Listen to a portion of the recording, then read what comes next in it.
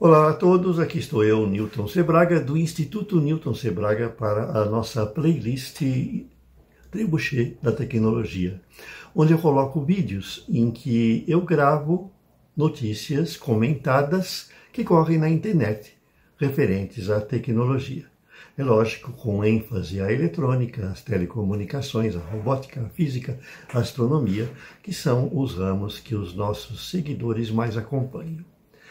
A notícia que eu vou comentar hoje, ela tem muito a ver com a nossa sessão de biônica e com as pesquisas de biônica que eu fiz no passado na Escola Paulista de Medicina, por exemplo, em que eu trabalhei eh, em um dos primeiros projetos de inteligência artificial, criando redes neurais né, com transistores, transistores de germânio. Imaginem, na época que eu fiz isso, ainda não tinham, não eram populares os transistores de silício. Né?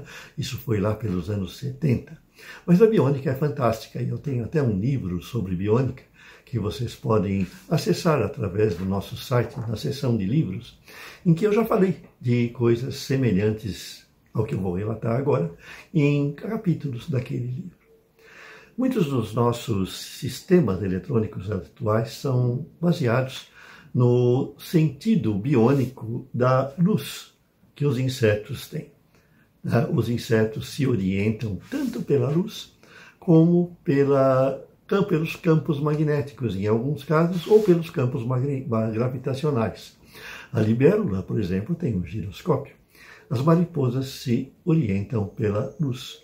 E aí foi feita uma descoberta interessante, né, que é bem relacionada com o que a gente vemos no dia a dia, que tem a ver com a biônica, que é a orientação dos insetos, e que pode servir de parâmetro para a orientação dos insetos e criação, vamos dizer, de dispositivos baseados nisso. Nós vemos que quando a gente coloca uma luz e de determinado comprimento de onda, os insetos ficam rodeando essa luz. E já foi pensado, criado, inclusive foi aventado, que a explicação seria que ela serve de orientação para o sistema, de orientação do inseto, né? E que ela os desorienta porque eles esperam que a luz venha lá do céu. Né? Então, o que, que acontece?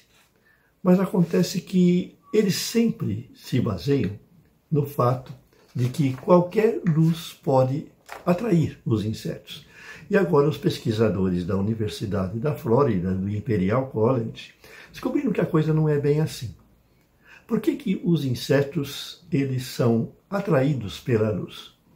Eles descobriram que os insetos não são atraídos pela luz. O que acontece é o seguinte: a natureza fez com que os insetos criassem um sistema de orientação que se baseia na fonte de luz mais forte que eles têm no dia a dia, que é o Sol. Então, o sistema de orientação deles vem da luz solar. Não que eles acompanhem a luz solar, eles não sobem. Se fosse assim, se a luz atraísse os insetos, eles voariam para cima, onde tem sol. Mas eles não fazem isso. Então, por que, que eles voam em direção a uma lâmpada que é acesa? Na realidade, eles descobriram que não é bem assim. A luz forte aqui na Terra, que confunde o inseto, que eles eventualmente confundem em relação ao Sol, que já se foi, porque a luz é noturna, elas simplesmente desorientam o inseto, que passa a ver aquela luz como o Sol. Então ele não vai realmente em direção da lâmpada e bate. Vocês podem ter percebido isso. O sistema de orientação deles é enganado e eles passam a circular aquela fonte de luz, que eles usam como referência. Então não é a atração em si da lâmpada, mas sim uma desorientação que faz com que o sistema natural que eles tenham pensem que aquilo lá é o Sol que está numa posição errada e eles começam a procurar a posição certa para poder se orientar. E num determinado momento eles se esgotam de tanto ficar girando em torno da lâmpada e caem. Né? Eles se esgotam e eventualmente batem na parede, batem em algum lugar ou na própria lâmpada. Mas não que ela os atraiu, ela simplesmente os desorientou. como diz a notícia, né, a notícia original que vocês podem acessar no site, ela, essa, essa iluminação dessa lâmpada, a luz dela, causa vertigem, deixa eles sonsos. Eles começam a circular, circular, circular, não encontram a posição certa de orientação, nunca, né, porque ele está perto, e acabam ficando esgotados, tontos e a bater nas coisas e cair.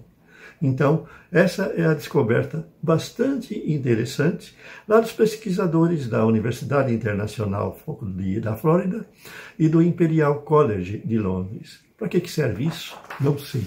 Por enquanto, eu não vejo ainda uma utilização prática, certo? De repente, a gente pode criar sistemas de desorientação para insetos que os afastem da nossa casa talvez com lâmpadas múltiplas que causem confusão, e com isso a gente expande os insetos e não os atraia, porque a gente causa a desorientação.